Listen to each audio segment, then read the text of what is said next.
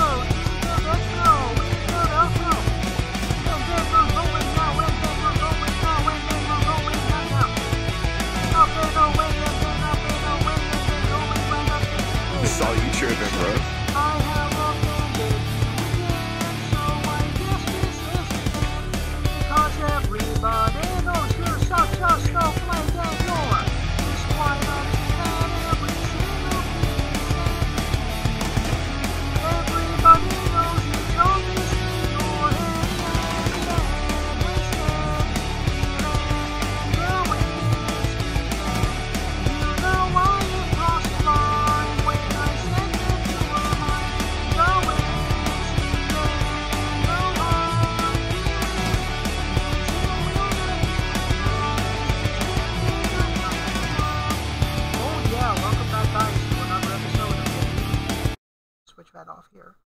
Okay, Minion of a Mighty Deck. So this is now the deck. That is Almighty, the Minion of a Mighty Deck. And of course, we're gonna need another pumper to get this guy going. I need another mountain, another pump spell. There we go, we got our pumper. Now we can play Mignon of the Mighty. Filet Mignon of the Mighty. And I'll show you how this deck works. It's a very awesome deck. Okay, that's it. Game over. We give him a reckless charge. Another reckless charge. We attack with Minion of the Mighty. We put in Giant Dragon, which cannot be blocked by creatures with power 2 or less in play. We win the game. Dread Linnorm has won us the game.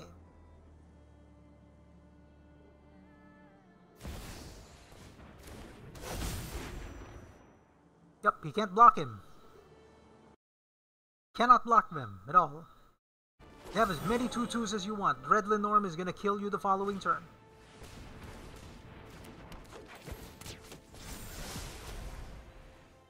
He's still a 2-2.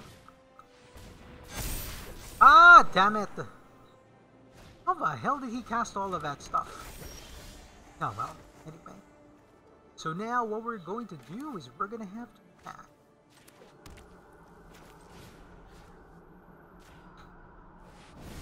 See how many elves we can kill.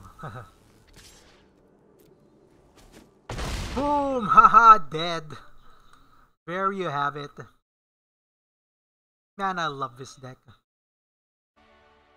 Okay, so uh, right now, um, what we're also going to be discussing as of late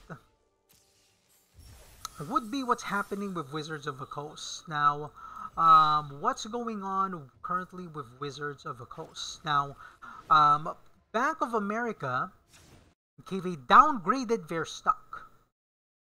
They double downgraded stock. They performed an audit on Hasbro stock and Wizards of the Coast stock, and what they discovered is that they uh, gave it's high risk, it's not worth it, and if you do plan on investing, be very careful because the stock has a very, very large tendency to crash real soon. So people are actually concerned. People are actually worried because when Wizards was interviewed, they said that they weren't going to be changing anything that they were doing for the next year. They are not changing a single thing. They're still going to continue to pump product into the market. They're still going to continue okay, to uh, pump all those products, to print, overprint products, even though they're not selling that much. And players, okay, they're fighting with their wallets. They're not buying any new product. So here's Wizards of the Coast printing, printing, printing new product, waiting to give the money to Hasbro, and Hasbro said, "Where's my money?" And they're like, "Oh, we're gonna have to get it from the players," and the players aren't giving them their money. So it's gonna be interesting to find out what's gonna happen.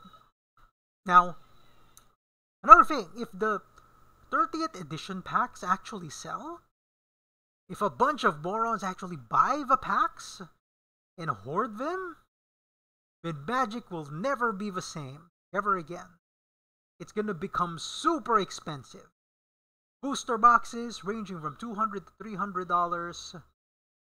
Packs ranging from 250 dollars to 500 dollars. Okay, that's gonna be the future of Magic the Gathering. It won't be an accessible game anymore. Back then, um, we could play Magic the Gathering. Packs were like 40 pesos each. They were like uh, a dollar each per pack because the dollar back then was 40 to a dollar, so it's like a dollar per pack. But now, how expensive cards have gotten. Before were like 40 to 70 pesos, now it's like 150 pesos per pack or really expensive. So, anyway, once again, visit the Idea machine with the Sly Guy, Sly Guy, Sly Guy. More use for you tomorrow. And here we go. Yeah.